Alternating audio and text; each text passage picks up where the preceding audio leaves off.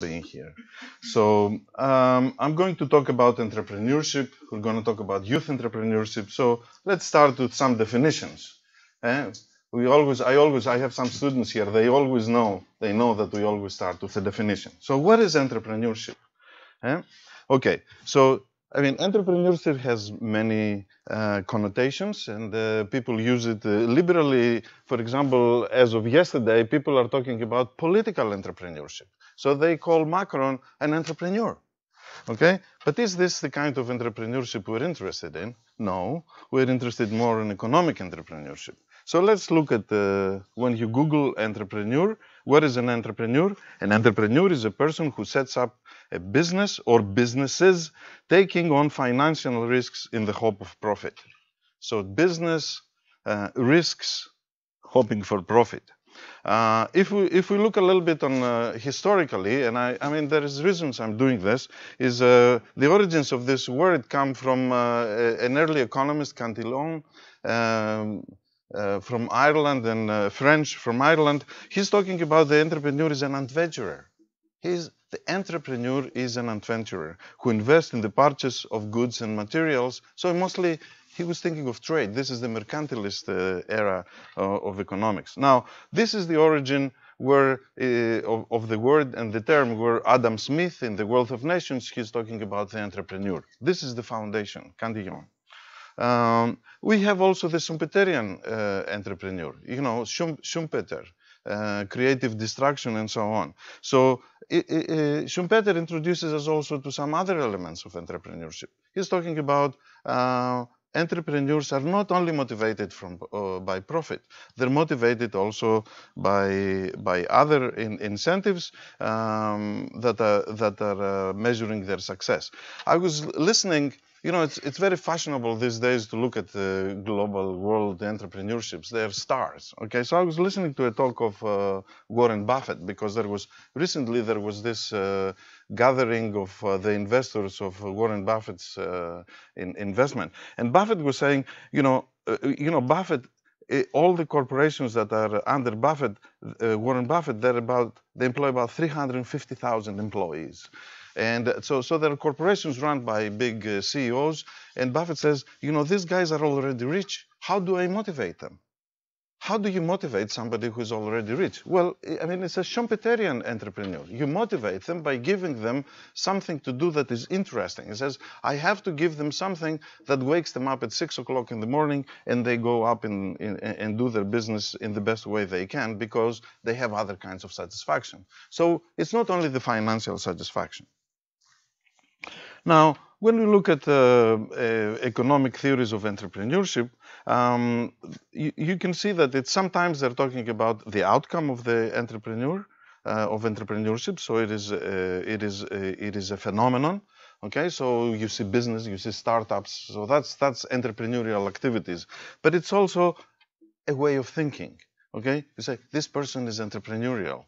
Uh, for example, uh, when they're talking about um, Macron, he's entrepreneurial. You know, he, he created something out of nothing. Uh, he created a movement, and now he's uh, since uh, last night he's uh, the new president of the Uni- of, of France, um, the second largest country in in the European Union. Um, um, so so the, the, there are these two elements, but um, you know, when you look at uh, at really those those are the research entrepreneurship, and I think I would like to emphasize this very much because this is uh, basically which uh, drives my discussion today, uh, or at least uh, you know, the, the, initiated my my thinking around this is that there are two parts in entrepreneurship. There is managerial skills and the entrepreneurial uh, spirit. Managerial skills they can be taught.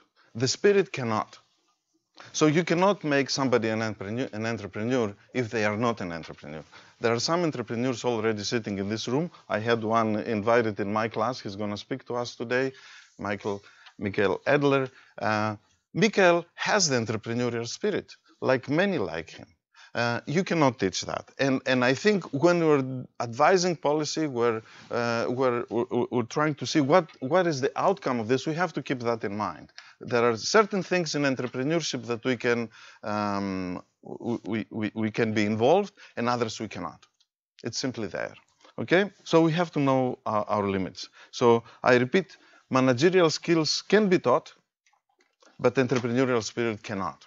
Okay, so I mean, talking about entrepreneurs, are we thinking, uh, uh, and in, in this workshop, are we thinking about people like like as a, like him, for example, like Bill Gates, worth 87.6 billion dollars uh, as of uh, January 2017, uh, or are we talking about uh, this guy, the owner of Amazon, worth over 80 billion U.S. dollars? These are all entrepreneurs. Warren Buffett that I already mentioned. Mark Zuckerberg, you know, uh, born in 1984, uh, worth 62 billion US dollars.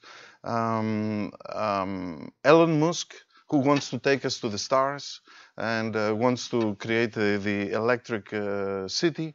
Um, are we talking about Steve Jobs, who we all we all use or uh, directly or indirectly uh, his his ideas, his products? Or are we we should go to some entrepreneurs like this? Now madeline uh, you were very where is madeline? Madeline you were very worried about gender balance on this one. So here is some gender balance for you. So here is a female entrepreneur. Uh, this lady uh, tabitha karanja she is the uh, owner um, of Keroche breweries um, in, in Kenya. Uh, she took over multinational, uh, and now she's uh, she has 55% of market share. she's an entrepreneur. Um, here is somebody else who, who, would be sitting here uh, talking to you today, but she couldn't come. And uh, that is Mrs. Yvette uh, Ortaci of OJ Green.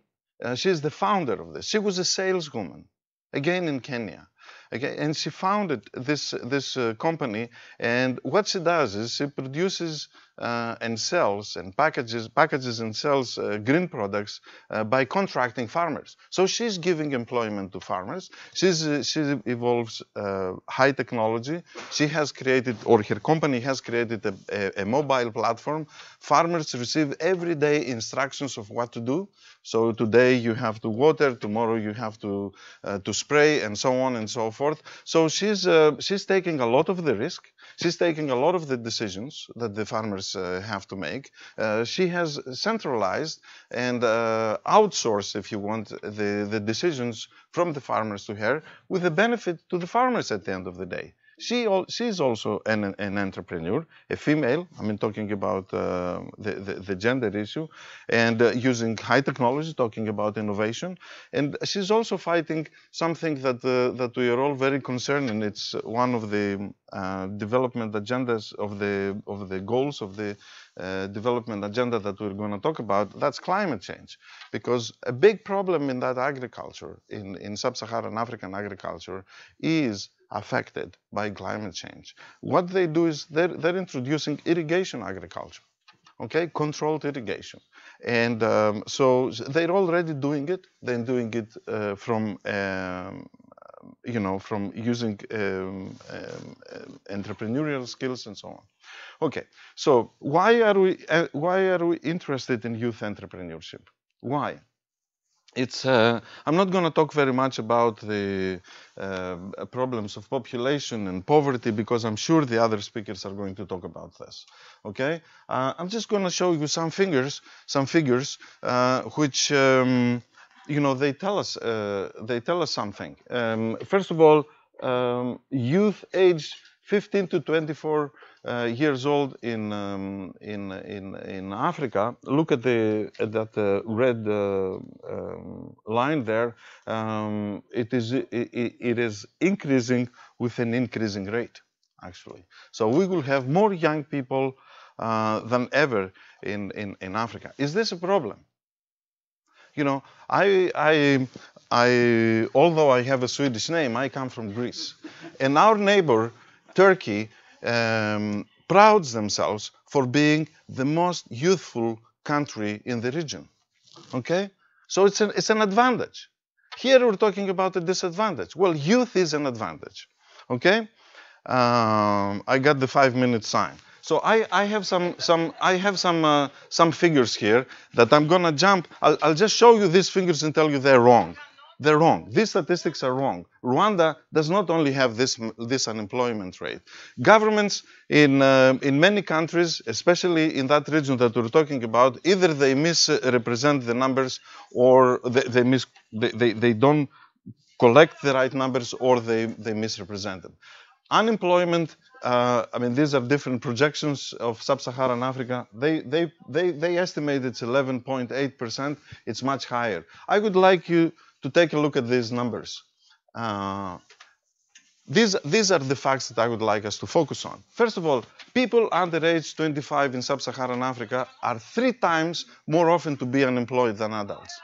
Three times more uh, likely to be unemployed. And this subgroup makes 62% of the total population in the region. Okay?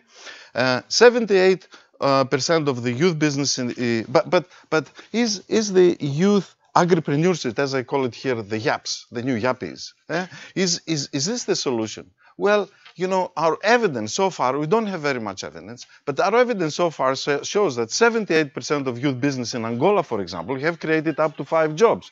However, in Malawi, 88% of the youth business do not even create additional jobs. So we have we have uh, conflicting evidence there. What do, does youth entrepreneurship do, and how do they contribute. They also don't use technology. They don't use uh, new technology as, as, uh, as we would expect. Okay? Now, um, why, why do they fail? There's 10% of startups fail, uh, uh, succeed. 90% they fail. Of those that they, they, they fail, they say that 47 to 50, I mean, depending on the region, they fail because they simply do not make enough money. Okay? So what are we talking about? Um, what is all this about?